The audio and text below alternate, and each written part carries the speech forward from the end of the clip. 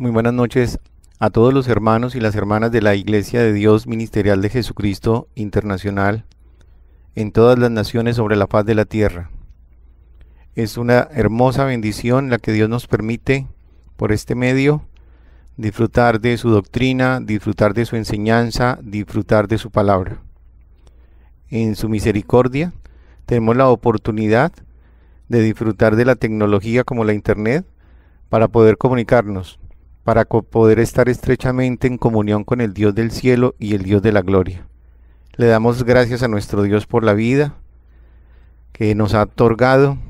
Le damos las gracias a nuestro Dios por nuestra hermana María Luisa y le damos las gracias a nuestro Dios por su iglesia. Definitivamente se marca la diferencia, el saber que estamos cerca de Dios, porque ¿qué sería de nuestra existencia si no estuviéramos en estos tiempos de adversidad y dificultad? Cerca del Creador, cerca del Dios glorioso y maravilloso. Aleluya, gloria al Señor. Por eso quisiera que hiciéramos una meditación en el libro del apóstol Pablo a una iglesia que se encontraba en Filipo, en el libro de los Filipenses, en el capítulo número 3. Vamos a estar leyendo y vamos a estar inquiriendo en las sagradas escrituras, en este hermoso libro, en esta hermosa lectura del capítulo número 3, versículo número 8. Y ciertamente aún estimo todas las cosas como pérdida por la excelencia del conocimiento de Cristo Jesús mi Señor, por amor del cual lo he perdido todo, y lo tengo por basura para ganar a Cristo. Verso 10.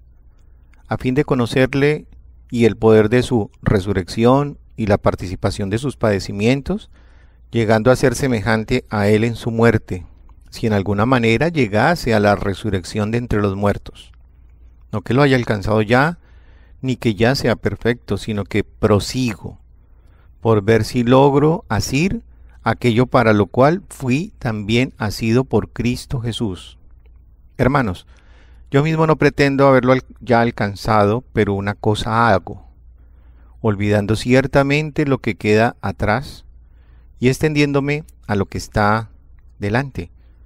Prosigo a la meta, al premio del supremo llamamiento de Dios en Cristo Jesús, y que la gloria y la honra sea para nuestro Dios. Qué hermosas palabras del apóstol Pablo. En el versículo número 13 al final decía, olvidando ciertamente lo que queda atrás, y más bien extendiendo la mirada a lo que está adelante. ¿Qué está adelante? El premio del supremo llamamiento de Dios en Cristo Jesús. ¿Cuál es ese supremo llamamiento? ¿Cuál será ese determinante llamamiento? ¿Cuál será ese máximo llamamiento? Es la salvación y la vida eterna. Por eso Él dice, prosigo a la meta. ¿Qué quiere decir la palabra prosigo? Prosigo es ser esforzado. Prosigo es ser valiente. Prosigo dice que es empeñarse en algo. Prosigo es perseverar, que es una palabra que nos identifica más porque está en la Biblia. perseverar es resistir, perseverar es luchar, perseverar es batallar. Por eso hay un verso en la Biblia que el que persevere hasta el fin será salvo.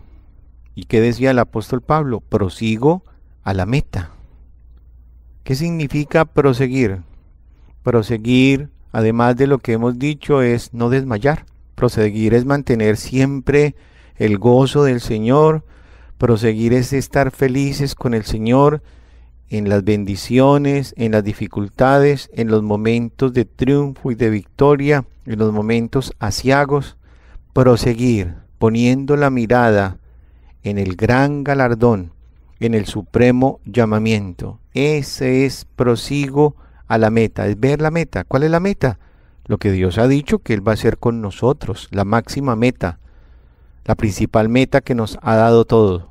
Porque Dios envió a su Hijo Jesucristo, al Señor Jesús, para darnos las buenas nuevas, buenas nuevas de salvación y esas buenas de salvación las trajo a través de un evangelio completo de la cual nosotros somos partícipes, cuán grande y cuán maravilloso es nuestro Dios. Somos beneficiarios de ese Evangelio completo, la obra del Padre, la obra del Hijo y la obra del Espíritu Santo. Pero ¿cuál es el propósito?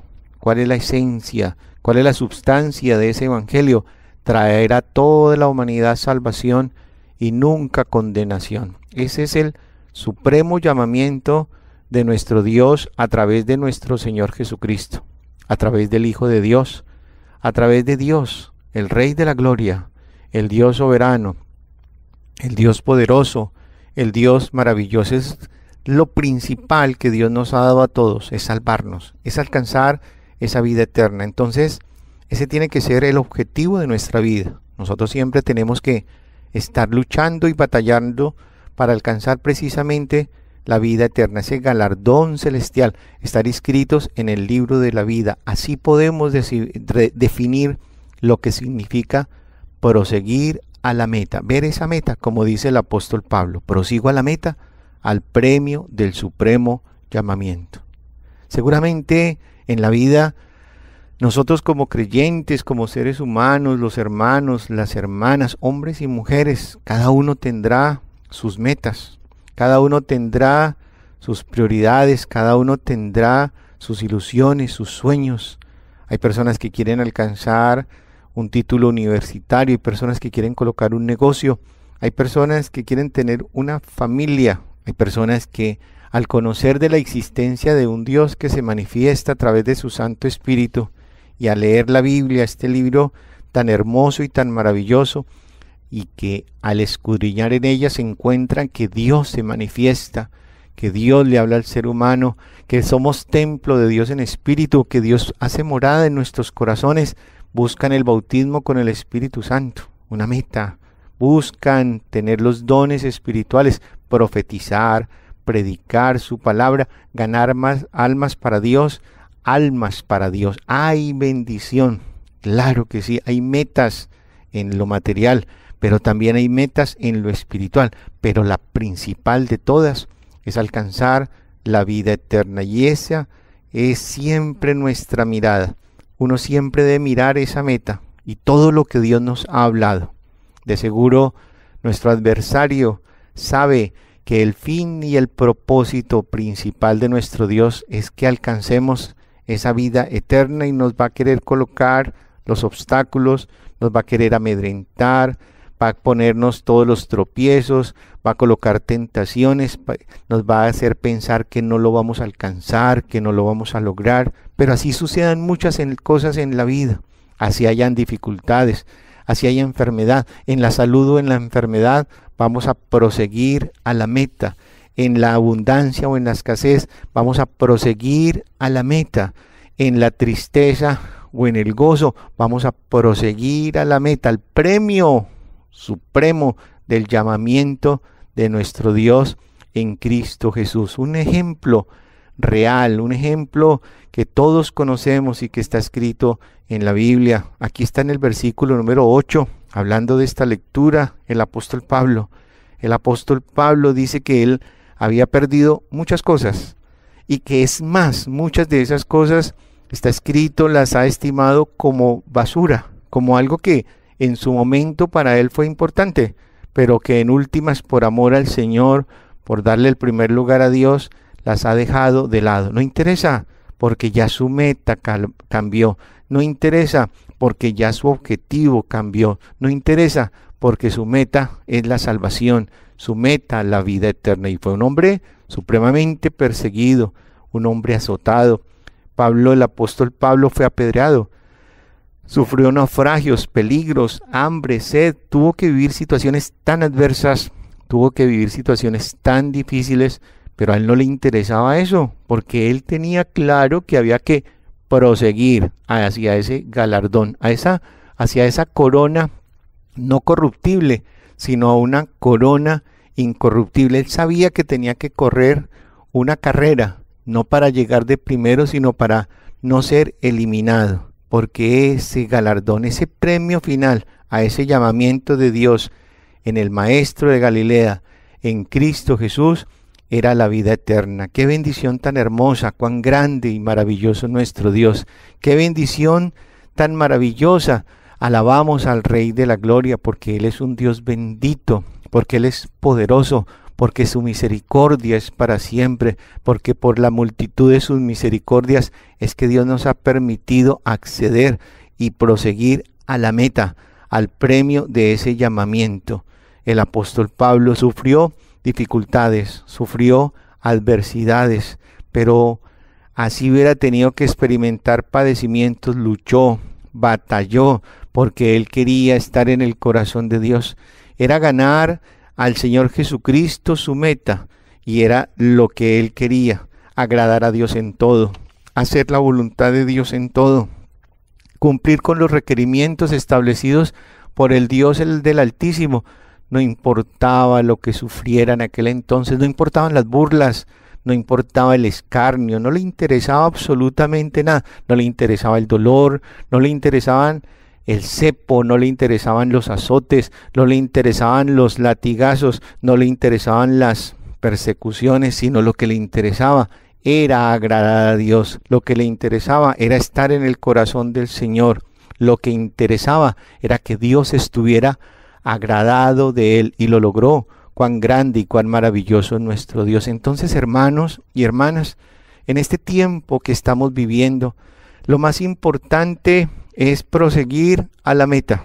Escuchamos muchas cosas, nos enteramos de otras tantas en medio de los noticieros, pero lo que tenemos que poner es la mirada en el galardón. El Dios del cielo tiene nuestras vidas en sus manos. El Dios de la gloria no ha abundado, sino sobreabundado después de que el Espíritu Santo ha hablado a través de nuestra hermana María Luisa, donde bendiciones materiales llegarán a sus hijos, donde dineros donde, de donde menos lo estaremos esperando llegarán, donde Dios estará obrando milagros y maravillas y prodigios, y podemos decir, como dice un coro, que somos testigos del poder de Dios, somos testigos de los milagros, somos testigos de su manifestación, somos testigos de la transformación que ha habido en nuestras vidas, somos testigos de lo que Dios ha hecho en nuestras vidas, somos testigos por el milagro que ha hecho en cada uno de nosotros. Gloria al Señor. Entonces, no interesa lo que veamos, no interesa lo que escuchemos, tenemos que prestarle atención a esas grandes noticias que vienen del cielo, directamente del cielo. En los estudios bíblicos el Espíritu Santo nos da esa fortaleza, el Espíritu Santo nos da esa esperanza, el Espíritu Santo nos da esa firmeza, el Espíritu Santo nos llena de fe, el Espíritu Santo renueva nuestras fuerzas. Cuán grande y cuán maravilloso es nuestro Dios. Por eso es tan importante proseguir a la meta. Y esa es la meta principal, porque hay muchas más metas, metas de todo tipo, pero la principal es la espiritual. La principal es alcanzar la salvación y la vida eterna. Vamos a ver un ejemplo, un ejemplo muy sencillo, pero muy profundo en la Biblia, en el Antiguo Testamento. Lo voy a leer rápidamente, porque son varios ejemplos de diferentes metas a diferentes personas a través de la Biblia uno encuentra esa enseñanza tan hermosa y tan maravillosa donde el Señor prefijó esas metas. Por ejemplo, en el libro del Éxodo, en el capítulo número 3, el Señor le habló a Moisés y le fijó una meta. Le dijo, tú vas a sacar a este pueblo y lo vas a llevar a la tierra prometida, una tierra que fluye leche y miel. Eso fue lo que le dijo el Señor. Y esa fue la meta principal, capítulo número 3, en el versículo número 6, y dijo, yo soy el Dios de tu Padre, gloria al Señor, el Dios de Abraham, el Dios de Isaac y el Dios de Jacob. Y en el versículo número 7 les dice, dijo luego Jehová, habló Jehová, el Dios de las batallas habló, viene visto la aflicción de mi pueblo que está en Egipto. Hoy el Señor ve nuestras preocupaciones, Hoy el Señor, dice la Biblia, sus ojos ven y sus párpados examinan a los hijos de los hombres. Él sabe sus tristezas, Él sabe nuestras angustias, Él sabe nuestros dolores, Él sabe nuestras preocupaciones, Él sabe los peligros en los que podemos atravesar. Y viene a mi mente en este momento un testimonio de un hermano aquí en Miami que entró a un supermercado que es muy grande, es muy popular y muy grande. Hace dos semanas entró, es una persona reciente y me comentaba que estaba haciendo la línea para poder pagar y cancelar lo que había comprado. Y de un momento a otro comenzó a ver un destello de luz. Abrió los ojos, cerró los ojos y lo hizo por varias oportunidades porque estaba, pensaba que algo raro le estaba sucediendo en su salud. Ese destello de luz lo cubrió y lo movió hacia otro lugar donde tenía que cancelar los productos, pero en ese momento él perdió, perdió como el entorno, perdió como el, el espacio, perdió como la realidad de donde estaba y cuando volvió a su realidad estaba sentado en el carro y el Señor le dio una experiencia donde le dijo que lo había guardado de peligros, que lo había preservado su existencia. El Dios soberano, el Dios poderoso, nuestro poderoso gigante lo guardó. Aleluya, gloria a nuestro Dios. Ese Dios que nos ve, dice en el verso 7, viene visto la aflicción de mi pueblo que está en Egipto. Y he oído su clamor a causa de sus exactores, es decir, personas que les cobraban muchos impuestos. Verso 8 y he descendido para librarlos de mano de los egipcios. Esa es una meta transitoria, no es la de la vida eterna, pero es una meta transitoria. Y sacarlos a aquella tierra de donde estaban, en Egipto, y llevarlos a una tierra buena y ancha, a tierra que fluye leche y miel. Y allá, dice, a los lugares del cananeo, del eteo, del amorreo, del fereceo, del ebeo y del jebuseo. Esa fue la meta que Dios le trazó a Moisés y al pueblo. Pero el maligno sabe que Dios tiene metas para con cada uno de nosotros. Tanto así que en el libro de números, en el capítulo número 13, avanzando rápidamente, el maligno siempre va a tratar de obstruir. El maligno siempre va a tratar de colocar tropiezos, obstáculos, impedimentos, para que los hijos de Dios puedan llegar a esa meta. No en vano muchas veces los hermanos me dicen, hermano, cuando yo quiero acercarme más al Señor, cuando yo procuro leer más la Biblia, cuando yo procuro agradar más al Dios soberano, buscar su integridad, su rectitud, es cuando el maligno más ataca. Sí, porque el maligno sabe que acercándose uno a Dios, más se va a fortalecer en la fe, más se va a fortalecer en la esperanza, más Dios va a estar con nosotros para ayudarnos a alcanzar esa meta. Por eso los tropiezos del maligno en estos tiempos, hablando de estas realidades, es tratar de colocar miedos, tratar de amedrentarnos, tratar de colocarnos dudas, hacernos ver todo al contrario, hacernos ver las apariencias de la vida, que todas son al revés a como el Señor nos los ha presentado y el como el Señor nos los ha dicho. ¿Para qué? El diablo y el maligno quiere que nosotros desmayemos. El maligno quiere que nosotros desfallezcamos. Para que el maligno quiere que nosotros perdamos la fe. El maligno quiere que nosotros volvamos atrás. El maligno quiere que nosotros perdamos nuestras fuerzas, nuestras esperanzas. Además de eso, para que perdamos nuestro principal objetivo que es alcanzar la salvación y la vida eterna. Siempre ha sido de esa manera. Por eso, hermanos, nosotros somos practicantes de la Biblia. Y si nosotros somos practicantes de la Biblia, lo que sucedió en aquel entonces, lo que le sucedió al apóstol Pablo, lo que sucedió a otros profetas de la antigüedad, también nos va a suceder a nosotros. Por eso el maligno siempre pretenderá colocar tristezas, abatimientos, dolores, por eso nosotros somos practicantes porque la Biblia para nosotros no es una teoría, la Biblia para nosotros es una realidad. Nosotros no nos aprendemos de memoria la Biblia, sino que nosotros por eso le decimos a las personas recientes que nosotros que nos están escuchando en este momento que nosotros somos cristianos, practicantes de la Biblia y guiados por el Espíritu Santo. Dios le dijo a Moisés, Dios los probó, porque Dios también en todas estas metas que nos coloca nos prueba para ver que nosotros qué vamos a hacer, a ver qué nosotros pensamos. Pero Dios tiene el control de todas las cosas, aleluya, gloria al Señor. Él es el que domina sobre toda la existencia.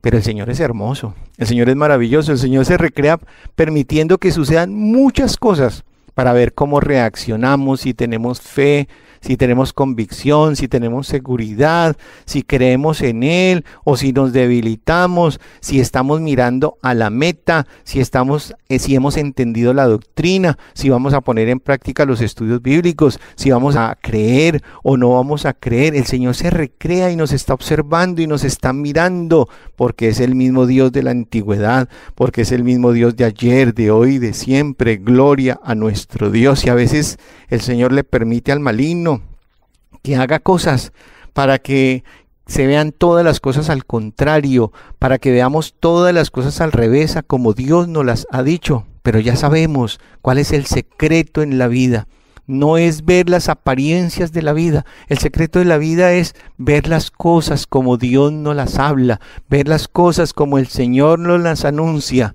a través de su Santo Espíritu, a través de las experiencias espirituales o a través de su doctrina. Grande y maravilloso es nuestro Dios. Verso 2. Envía tu hombres que reconozcan la tierra de Canaán. Esa era la tierra que habían prometido, donde habían leche y miel dice en el versículo número 18, y observar la tierra como es, y el pueblo que la habita si es fuerte o débil, si poco o numeroso. ¿Cómo es la tierra habitada? Si es buena o mala. ¿Y cómo es el terreno? Si es fértil o estéril. Son preguntas que el Señor hace para probarnos porque él sabía que era la tierra que fluye leche y miel. Y enviaron una comisión a ver la tierra y volvieron de, después de 40 días de reconocerla y en el versículo 25 vinieron y en el versículo número 26 le dan la información a Moisés y a Aarón y en el versículo 28 dice, mas el pueblo que habita en ella es fuerte y las ciudades muy grandes y fortificadas. Y es más, también vimos allí a los hijos de Anac. Verso 33. ¿Quiénes eran los hijos de Anac? Vimos allí gigantes, hijos de Anac, raza de los gigantes, y éramos nosotros, a nuestro parecer, como langostas, y así les parecíamos a ellos. Entonces, esto no le agradó al Señor. Fue la manera como ellos desanimaron al pueblo. No, ellos se pusieron a ver, fueron las apariencias, y se llenaron de miedo, y se amedrentaron, y se sintieron menos, sabiendo que el Señor los iba a llevar a una tierra que fluiría leche y miel, que Dios los llevaría a una tierra para pastorearlos, que Dios los llevaría a una tierra para enseñarles, que Dios los llevaría a una tierra para guardarlos, que Dios no los llevaría a una tierra para destruirlos, así fueran gigantes los de las tribus de Anac. No, Dios les habría abierto el mar rojo y ellos no se acordaron. Dios les había dado bendiciones, Dios se había manifestado. Por eso hoy en día, hermanos, nosotros no debemos vivir de las apariencias, sino que nosotros debemos vivir de las promesas, de su doctrina, de la enseñanza, de su palabra viva, de su manifestación, de la lectura de la Biblia. Eso es lo más hermoso y lo más maravilloso. El Señor de cualquier circunstancia nos va a sacar adelante. El Señor siempre nos va a ayudar. El Señor nunca nos va a dejar desamparados. El Señor nos va a dar una salida. Él es nuestro refugio. Él es nuestra fortaleza. Él es nuestra sombra, nuestra mano derecha. Él nos ha traído a su iglesia para perfeccionarnos. Él nos ha traído a su iglesia para santificarnos. Él nos ha traído a su iglesia para bendecirnos. Él nos ha traído a su iglesia para guardarnos. Él nos ha traído a su iglesia para perfeccionarnos, nos pone a vivir circunstancias para que practiquemos la Biblia, nos pone a vivir circunstancias para saber cómo reaccionamos, nos pone a vivir circunstancias para ver si lo agradamos, si tenemos fe, si tenemos confianza, si tenemos convicción, si tenemos firmeza, si agradamos a Dios. Verso 30. Entonces Caleb hizo callar al pueblo delante de Moisés y dijo, subamos luego y tomemos posesión de ellas, porque más podremos nosotros que ellos. Nosotros vamos a poder. No interesa que ellos sean gigantes. No interesa que nosotros somos que seamos tan pequeños. No interesa. Dice en el versículo 31, mas los varones que subieron con él dijeron, no podemos subir contra aquel pueblo, porque es más fuerte que nosotros. Entonces, hermanos, adelante.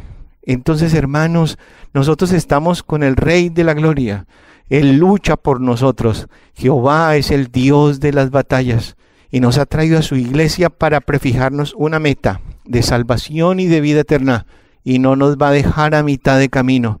Por el contrario, si estamos reconciliados con Él en este tiempo, por el contrario, si reconocemos que nos hemos equivocado, si por el contrario nos sinceramos con Dios y si nos esforzamos por alcanzar la integridad, por alcanzar la rectitud, por alcanzar la sinceridad, Dios no nos va a dejar avergonzados. Dios es un Dios de plenitud de misericordia. Dios va a batallar por nosotros. Dios va a luchar por nosotros. Dios va a sacar la cara por nosotros. Y Dios nos dará los triunfos y las victorias. Porque la última palabra de Dios para con sus hijos y para con su iglesia son triunfos, bendiciones y victorias cuán grande y cuán maravilloso es nuestro Dios. Que el Dios de la gloria los bendiga, que el Señor soberano escuche todas sus peticiones y que el Señor los sorprenda con grandes triunfos, milagros, prodigios y bendiciones. Dios los bendiga, hermanos.